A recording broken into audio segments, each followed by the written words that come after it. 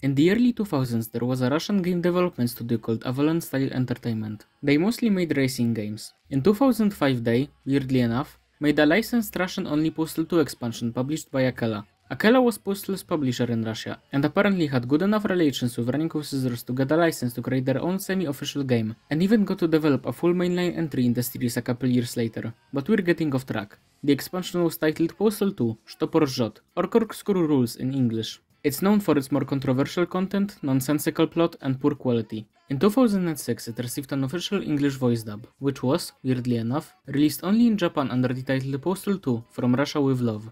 It seems like the poorly translated English script was recorded by the same voice cast as the Russian version. In 2017, Corkscrew Rules received an unofficial Steam Workshop port by Evil, a member of Revival Games and creator of Nick's Co-op. It's the version of the game that I played for this video. It has all the original content, it adds some minor tweaks, but most importantly it adds English subtitles. Just like the voice acting script, it's a poor translation, and there were a couple times where I had to pay attention to both the audio and the subtitles to fully understand what's going on. Also, one more thing. Due to the types of jokes this mod makes, I assume the comments section will be a shithole. Do not leave political comments. If you want to have mostly bad faith culture war arguments, go to Twitter or a political streamer. Corkscrew Rules begins with a man named Shtopor, or as I will call him throughout the video, Corkscrew, waking up in a hospital. He doesn't remember who he is or what happened. As it turns out, someone stole his dong, which also for whatever reason gave him a female voice. Yeah, right. I can t- Fuck. What's wrong with my voice? He gets kicked out, remembers that he used to be an adult movie actor, and you get your first errand. To look at billboards because maybe they will help Corkscrew remember something. Going from the original release to the Steam port, you can very easily notice a few changes. Corkscrew received unique textures to make him look different than the dude. The pistol, and the machine gun later in the game, received new models, but the most interesting change is the pissing. In the original, you couldn't piss because the surgeon stole your dong, right? Well, in the Steam version you can piss, but only downwards like a woman. That's honestly pretty funny. You can also find some of the new weapons, the slingshot, which sucks, the frying pan, which is a below average melee weapon, and the sock, which is more or less just the scissors reskinned. You eventually get to the billboard. Well, the game calls them billboards, but in reality they are posters. On one corkscrew sees a woman he collaborated with, so you go visit her. The posters are right next to the liquor store. Corkscrew Rules replaces health pipes with vodka. Unlike the pipes, it only restores your health to 100, not 125. In the original version there were no downsides, but in the Steam port it makes your camera move diagonally. The crosshair stays in the center of the screen, but you still shoot where you would normally be looking at if you weren't drunk, so aiming is extremely difficult. Anyways, the woman is in a culture house, which for those who don't know is a type of building in some Eastern European countries, which is where you can go to view culture, movies, books, etc. Once you talk to her, Corkscrew gets eaten out, the building gets invaded, and you fight until the police arrive. I was so confused as to what the game was trying to tell me here. You get the next errand, to read a newspaper. Unlike every other errand-based postal game, you don't get to choose in which order you want to do the errands, as the next ones unlock only after completing the last one. They're also usually very far apart, so a lot of the playtime is just going from one errand to another. Imagine if I did that, just wasted your time between errands with nothing meaningful. Boring, isn't it? You go to the library, pay or not, your choice, and it turns out it's not the newspaper, so you go to the local publisher. I'm sure whatever is on the newspaper is really funny. Apparently, Corkscrew isn't the only person that had a body part stolen. He decides to talk to a surgeon, who he thinks is the one who stole his dong. He's currently being held in prison, so you go there and talk to him. Corkscrew gets captured by the guards, and the sheriff interrogates you. Corkscrew lies, saying he's a detective investigating the case of a stolen dong. The sheriff tells you that the case might be related to a certain Muslim group. Leaving adds a hate group to your map, even though you haven't seen them before. Monday's last errand is to go home. In front of your house you get attacked, I'm not actually sure why, and Corkscrew recounts his day. His male and female voices talk to each other, almost like they're separate entities. Let's sum up the day. My name's Dude. I'm a male ex-porn star deprived of his memory, balls, and schlong. I'm really tired now, and I wanna take some shit out badly, but I swear to continue the fight later on. I know who's my enemy. It's an evil network of surgeons that sell organs on the black market. So I have a choice. Either I find them and kill those fuckers, or I forget about it and take leaks like a broad for the rest of my life. Now the good part. I learned today what lesbians experience during their orgies. That was good. That was really good. I wonder how it is with a real man. Hey, stop that bitch! Fuck this stuff! Well, it's already late. Lights out. There you go. Corkscrew talks with himself in his head, and remembers that someone told him where the thieves might be. I'm not sure who told him that, but okay. Going outside, the apples on the ground are the default editor actor textures, which I think is funny. You get three locations to check, VPI, Funny Organ, and the Oriental Medicine Center.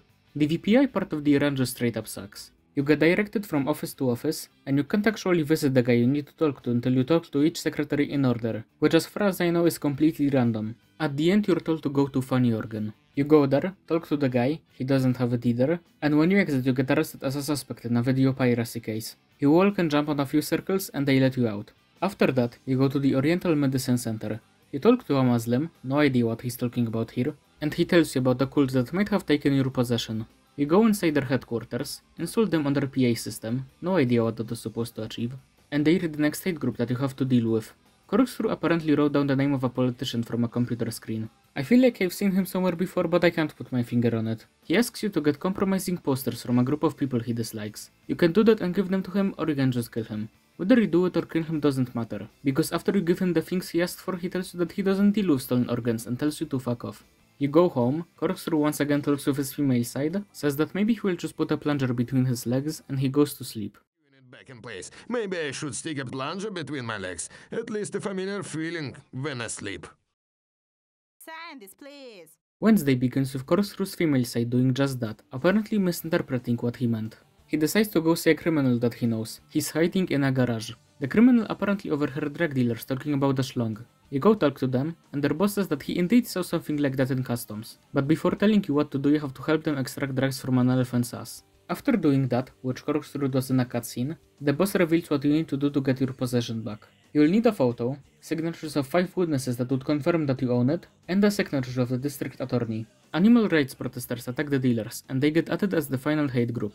First, I got the photo. You can get it from Corkscrew's old employer. He agrees to give you a photo if you do some new work for him. After the world's lamest photo shoot, you can pick up your photo. Then you have to get the signatures. Imagine the petition errand from Postal 2 but infinitely more annoying. You only have to get 4 signatures, which wouldn't be too bad if not for you still being in the game suit. You don't get your clothes back, and if an NPC spots you they'll start laughing. If they're laughing, you can't ask them for a signature. You're forced to sneak to most NPCs to ask them before they start laughing. And if you get spotted, you have to walk away and wait for them to forget about you. The district attorney is spending his day in the gay club. You go there, do a dance so that the bouncer lets you through, and get the signature. Now that you have everything you need, you go to the airport and finally get your dick back. You go back to the Oriental Medicine Center, and the surgeon reveals his real identity. He's been Osama bin Laden the whole time, and he has no intention of attaching your organ back to you. He's been stealing the best body parts from the best people in the world, to attach them to himself and become the ultimate human. Yeah, I don't get it either. Corkscrew passes out, and Osama is at least nice enough to give you his old penis. Now, bitch, you'll feel my wrath in all its might. Corkscrew wakes up with a new body part, meaning that you can finally piss just like in Postal 2. His female voice is also gone. You only have one run today, to get revenge. The local newspaper says that Osama has offered $5 million for the best body parts, which made everyone start attacking each other. It's more or less just the apocalypse from Postal 2. Cats fall out of the sky just like the base game, which makes no sense here. You get to the Oriental Medicine Center, you fight bandits until the door opens, fight a few Muslims, and Corkscrew kills Bin Laden in a cutscene. Doesn't hurt, bitch.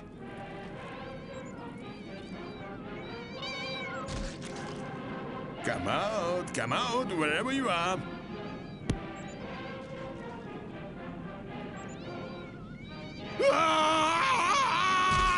Let's make it quick.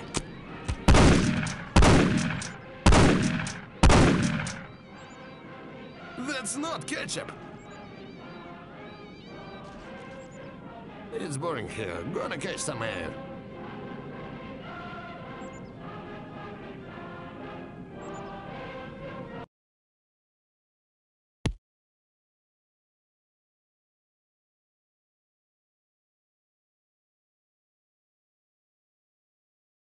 Next thing you know, I'm on Cop TV.